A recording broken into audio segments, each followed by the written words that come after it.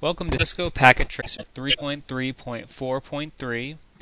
I'll be exploring internetworking devices. The objectives are going to be to describe the different options available on an ISR and a router, and then determine which options provide the needed connectivity. And last, I'm going to add the correct modules and interfaces to the ISR and the router and interconnect the devices. So first I'm going to start off by going to router 0 and clicking on. And now I'm going to look at the modules and I'm going to plug in one of these modules into here, but first we need to make sure the device is off. So I'm going to just drag a couple of these over there, turn the device back on, go to config. We're going to wait until this is finished.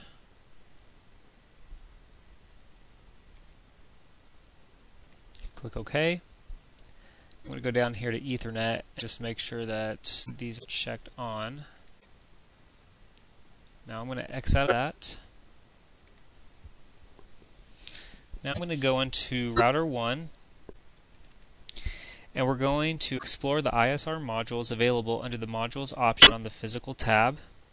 We're going to find the appropriate interface modules to connect router 0, access point, and the existing PCs. The module names might not be the same as those installed on the existing networking equipment. So we're gonna you need to choose modules that provide the same kind of connectivity and use the same type of cable. And for this network, the multi-port switch module is the best choice to connect the PCs. The built-in LAN ports can be used to connect to the access point. So first I'm going to power down the 1841 ISR using the power button in the physical device view window on the physical tab. So we'll power it down.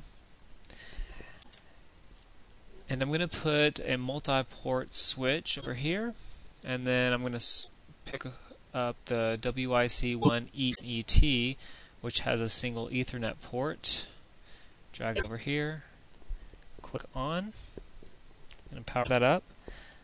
Okay, now I'm going to go to the config tab and select each interface. And we'll wait till it's finished booting. Okay, now that that's done, just going to go through and make sure all of these are checked on.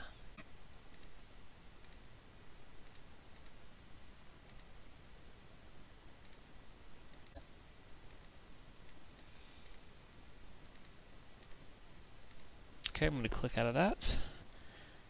And now we're going to connect router 0 to the 1841 ISR router 1.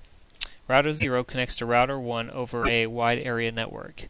So using the appropriate cable, I'm going to connect the first appropriate router 0 port to the first available router 1 port. Then I'm going to verify that the connection is working. A green light at each end of the cable indicates that the correct cable type is being used and the interfaces are powered up. So I'll go to connections, pick copper crossover, go from router 1 to router 0 go down to the Ethernet port, and as you can see, the lights are green.